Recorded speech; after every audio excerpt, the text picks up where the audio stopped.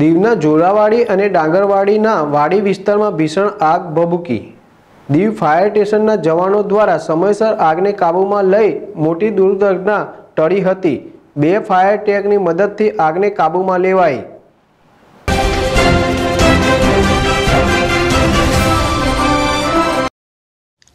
દીવના ઝોલાવાડી અને ડાંગરવાડીના વાડી વિસ્તારમાં અચાનક આગ લાગતા બુચરવાડા પોલીસ સ્ટેશન ખાતે ફરજ પર હાજર હેડ કોન્સ્ટેબલ વિજેન્દ્ર જેઠવાને જાણ કરાતા તેમણે દીવ ફાયર સ્ટેશનનો સંપર્ક સાધ્યો હતો.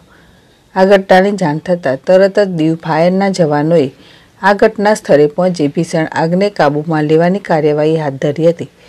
અચાનક ભભૂકી ઉઠી આગ ભીષણમાં નાના મોટા વૃક્ષોની સાથે હુકાના આશરે પંદરથી સત્તર જેટલા વૃક્ષો બળીને ખાક થયા હતા.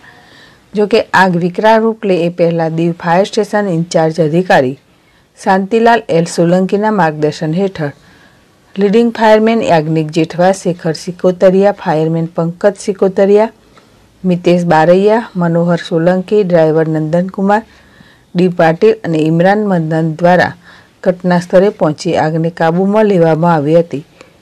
દીવ ફાયરના જવાનો દ્વારા સમયસર યોગ્ય કાર્યવાહીના પગલે અન્ય કોઈ જગ્યા કે વ્યક્તિને નુકસાન થઈ નહીં. મોટી અનહોની ટરી હતી.